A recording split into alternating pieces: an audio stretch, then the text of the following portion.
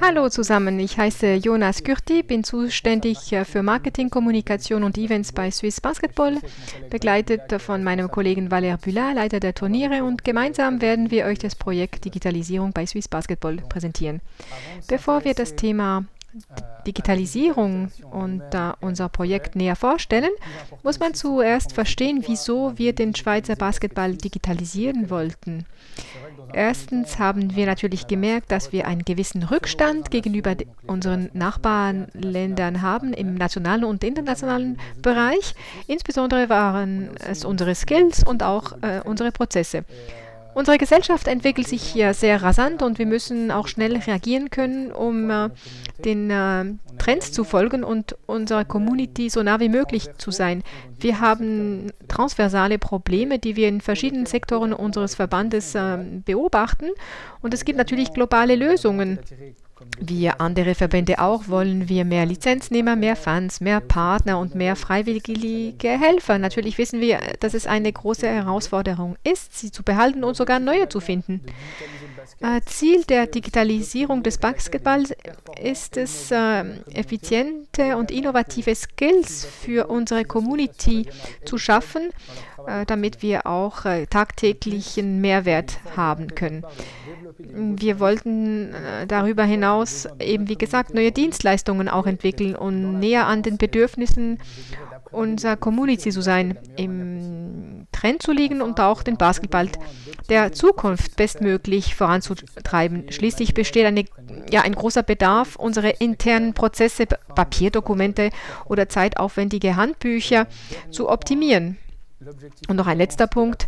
Das Ziel ist ebenfalls die Aufstockung unserer Ressourcen, vor, vor, allem aber das Einsparen von Ressourcen durch die Automatisierung bestimmter Prozesse mit neuen digitalen Werkzeugen. Wie werden wir den Schweizer Basketball äh, somit äh, digitalisieren? Es wurde eine Bestandesaufnahme vorgenommen und heute werden wir Ihnen zwei Hauptthemen vorstellen. Die erste also das erste Thema ist die Partnerschaft FIBA Connected Stadium, die uns helfen wird, die Produktion und Übertragung von Schweizer Basketballspielen zu verbessern und somit neue Dienstleistungen zu entwickeln. Und dann äh, die zweite äh, oder das zweite Thema ist die Partnerschaft mit einem spanischen Unternehmen namens NBN 23, damit wir alle Prozesse digitalisieren können und den Schweizer Basketball in eine neue Ära bringen zu können. Danke, Jonas. Äh, FIBA Connected Stadium, was ist das genau?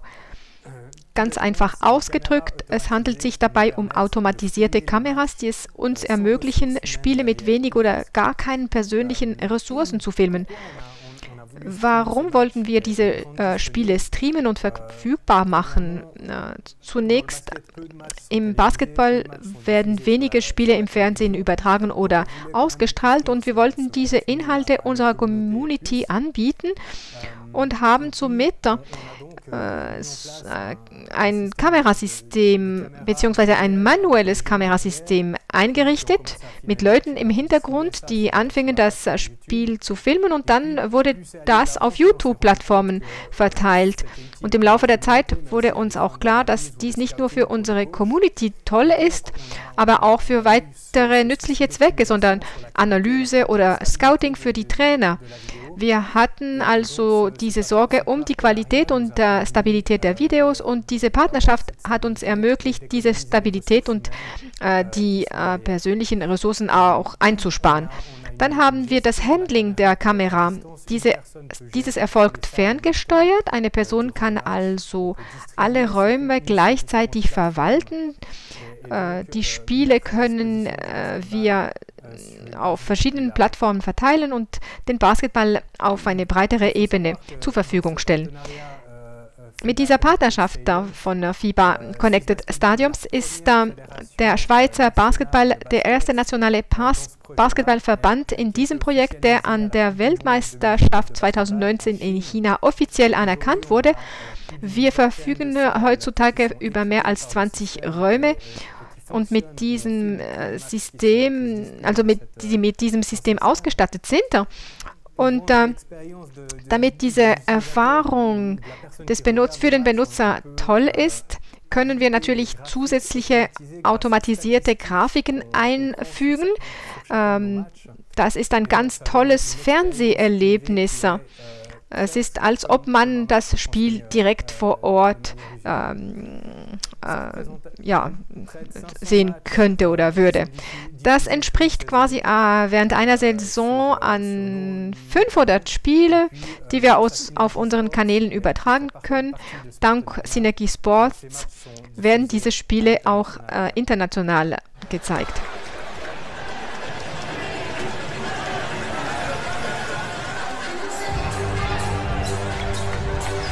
Wie gesagt, ein kleines Beispiel. Und äh, wir sehen eben, was die Kameras auf, also die Kameras aufnehmen. Dann haben wir diese automatisierten Grafiken.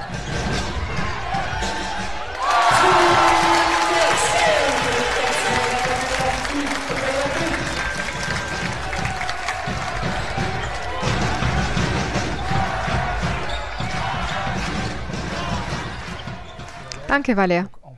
Gleichzeitig, also wie gesagt, wir haben diese automatisierten äh, Grafiken, die Kameras und wir haben weitere Vorteile für neue Dienstleistungen. Das heißt, wir haben den Instant Replay System für die Schiedsrichter in der ersten Division. Man kann also nochmals äh, das Spiel äh, zurückverfolgen. Dann haben wir auch, wie gesagt, ein Analysewerkzeug für die Coaches. Man sieht auch die unterschiedlichen Trainings. Alles wird gefilmt. Dann, wie schon gesagt wurde, man kann die Anzahl Spiele erhöhen. Man muss einfach den, das Spiel äh, über Internet äh, programmieren und kann dann natürlich äh, weitere Spiele noch streamen. Und wie es gesagt wurde, die ganze Planung und Verwaltung ist zentral.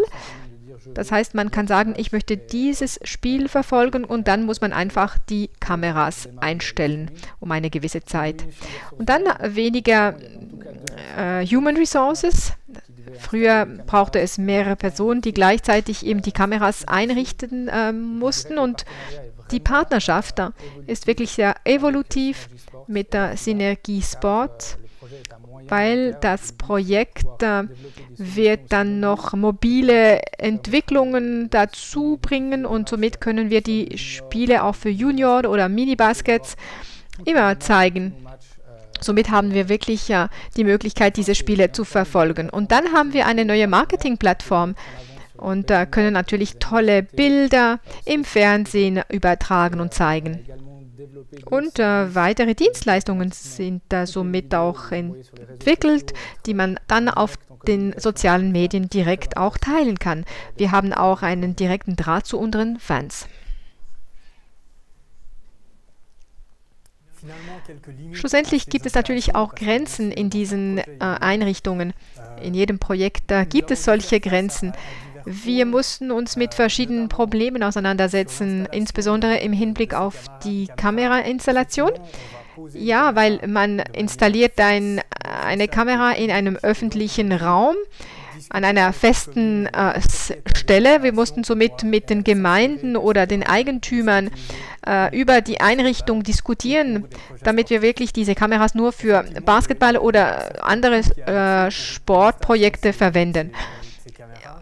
Und äh, natürlich äh, ist auch die Einrichtung dieser Kamera mit äh, Kosten verbunden. Wir haben stets die Frage auch mit den äh, Bilderrechten, äh, zum Beispiel im Hinblick auf das Streaming. Das muss alles verwaltet werden. Äh, ja, und dann gibt es noch ein weiteres Problem. Wir hängen auch von einem äh, Support im Ausland ab.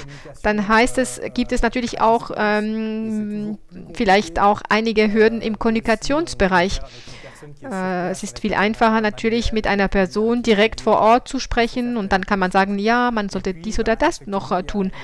Und dann erfordert es einen gewiss, äh, eine gewisse Ausbildung, das heißt in der Spielplanung eine gewisse Koordination ist äh, gefragt und weitere Faktoren, die man äh, berücksichtigen sollte. Auf NBN 23 haben wir natürlich die internen Prozesse. Wir werden, wie gesagt, die ganze Arbeit digitalisieren. Das heißt, bislang hatten wir zum Beispiel auf Papier den Spielbericht und jetzt äh, haben wir das alles auf äh, Tablet. Das heißt, die ganze Digitalisierung ist im Gange. Somit äh, können wir auch Analysen äh, extrahieren und äh, dieses äh, Tool ist stets evolutiv. Nicht nur der Spielbericht, aber die ganzen Grunddaten müssen geändert werden und es ist ein großes Challenge. Aber die ganzen Daten schlussendlich werden uns äh, erlauben, wirklich eine neue äh, Erfahrung zu teilen, sei es für die Spieler selbst oder auch die Coaches und so weiter.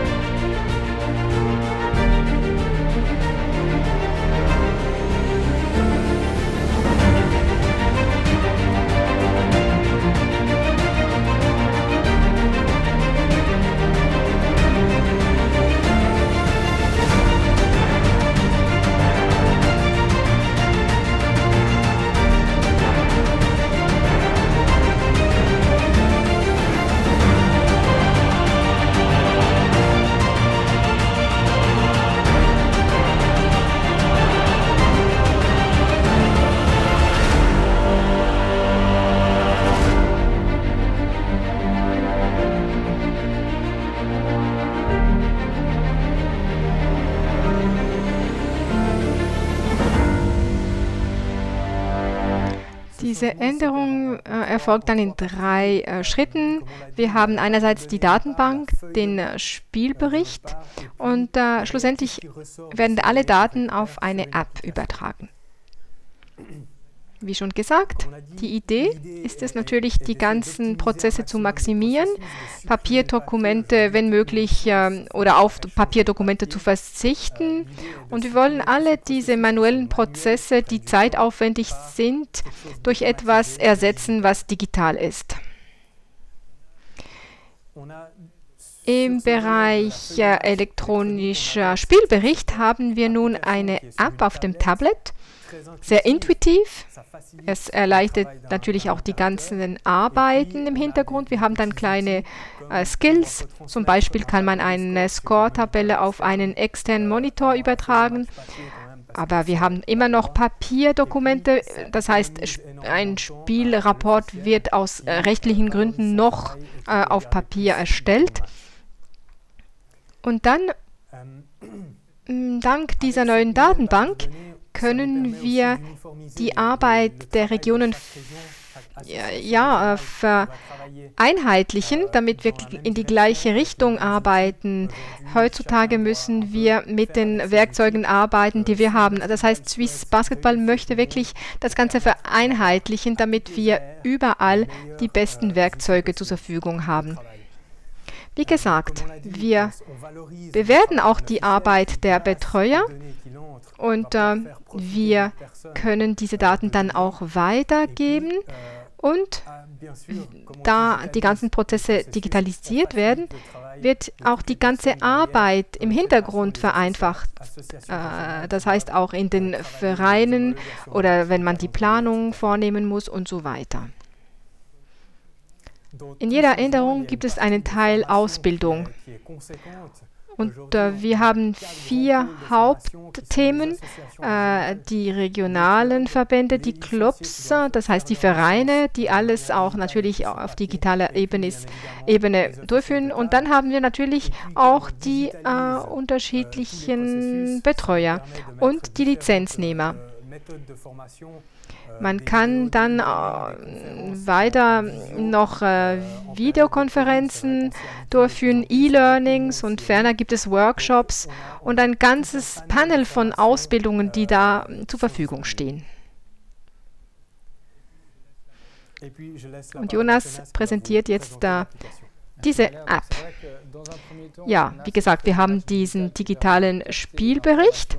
Die ganzen Informationen kommen aufs Tablet und diese Informationen werden dann in Echtzeit auf diese App übertragen, wie es es mit Play Store oder iTunes äh, bekannt ist. Und das heißt, diese App wird wirklich ähm, die, ja, die, diese Basketballwelt äh, sowohl für die Fans, für die Coaches, für die Spieler quasi revolutionieren. Man kann mit B, äh, NBN 23 diese ganzen Statistiken, die Planungen, den Kalender, die Spieler verfolgen. Das war früher unmöglich mit diesem äh, mit dem äh, Papierspielbericht. Äh, das brauchte quasi ein, zwei Tage. Und die Stärke des Projektes ist, dass man diesen Dienst nicht nur der Elite anbieten können, wie es äh, der Fall ist für äh, internationale Verbände. Ähm, auch von Minibasket bis zu den Profis können wir die gleichen Standards anbieten. Wir können eben die, äh, die Matches äh, und auch die Spieler und die Statistiken verfolgen. Es handelt sich um eine neue Art, den Basket zu konsumieren. Früher äh, ja, äh, musste man hin und her reisen und jetzt, äh, wenn man zum Beispiel in Tessin oder in Genf ein Spiel hat, dann äh, kann man direkt auch äh, in Echtzeit diese unterschiedlichen Spiele verfolgen und die Betreuer haben natürlich eine wichtige Rolle, weil ohne sie geht auch nichts. Dann gleichzeitig, dieses Projekt sehen wir für die Zukunft und wir haben eine äh, Basis erschaffen mit neuen Dienstleistungen für die Mitglieder und auch für die Lizenznehmer und die Fans natürlich. Das erste, was wir jetzt natürlich planen, ist der Streaming-Bereich, damit wir die Spiele ausstrahlen können auf diese App. Bei den Jungen oder auch bei den Profis möchten wir alle mm, Spiele so ausstrahlen können. Und auch die Statistiken können direkt in die Video integriert werden. Das Play-Play-Play. -Play wenn man eben etwas sieht, dann können wir direkt auf diese Aktion auf, äh, im realen, in Echtzeit das Ganze verfolgen. Und dann kann man noch weitere Dienstleistungen entwickeln. Das ist auch für den technischen Bereich sehr wichtig. Wir haben dann einen automatischen Bericht am Ende des Spiels und für die Coaches ist es wirklich ein Analysewerkzeug, das wirklich ganz, ganz toll ist. Und somit auch können sich die Spieler äh, vorstellen. Äh, bei anderen äh, Vereinen zum Beispiel, auch mit den sozialen Medien kann man äh, irgend, äh, damit spielen. Und am Schluss gibt es natürlich auch noch äh, Schwierigkeiten, die wir trotzdem auftreffen. Das heißt, wir sprechen über eine Transition, die, es, die mit einer Zeit verbunden ist. Es braucht einige Zeit, wie gesagt, zwei, drei Jahren, um das uh, zu installieren. Und zweitens braucht es auch eine Änderungskultur weil bislang haben wir immer gleich gearbeitet seit äh, 15, 20 Jahren und jetzt äh, verlangen wir von freiwilligen Helfern etwas Neues zu tun im digitalen Bereich. Vielleicht gibt es einige Hürden, weil man weiß nicht, wie es geht. Und äh, ja, das verlangt eine gewisse Zeit, äh, um das auch zu erklären. Dann sprechen wir über die Projektkoordination. Ähm, wir äh, arbeiten mit einem spanischen Unternehmen. Es ist nicht immer einfach in dieser Zeit, sich äh, stets zu verstehen. Und dann Datenschutz. Das ist natürlich auch ein wichtiges Thema für uns. Wir wollen die Regul Regulierungen natürlich auch ein bisschen vorgreifen und damit unsere Mitglieder sich direkt anmelden können und haben dann eine, einen geschützten Raum für ihre Daten und können sagen, ja, ich möchte kontaktiert werden oder nicht. Und dann haben wir noch eine weitere Hürde, die man nicht unterschätzen sollte. Das heißt auch Zugang an die Statistiken für die Jungen. Auch für die Coaches muss man äh, schauen, wie das geht. Das heißt, wenn jemand sagt, ich habe so und so viele Punkte während diesem Match erlangt und dann müssen wir sagen, äh, es wäre vielleicht auch eine Möglichkeit, eine Art Erziehungsmöglichkeit für die Jungen zu haben. Und Letzter Teil, wie es mein Kollege schon erklärt hat, die Ausbildung von allen Stakeholdern, das heißt die Lizenznehmer, die freiwilligen Helfer, die regionalen Verbände. Das heißt, es braucht eine gewisse Zeit und das muss man, wie gesagt, nicht unterschätzen in einem solchen wichtigen Projekt und das wird uns noch eine gewisse Zeit begleiten. Wenn es Fragen oder Bemerkungen gibt, stehen wir weiterhin zu eurer Verfügung und man kann uns auch äh, hier mit diesen Informationen erreichen und wir danken äh, für eure Aufmerksamkeit.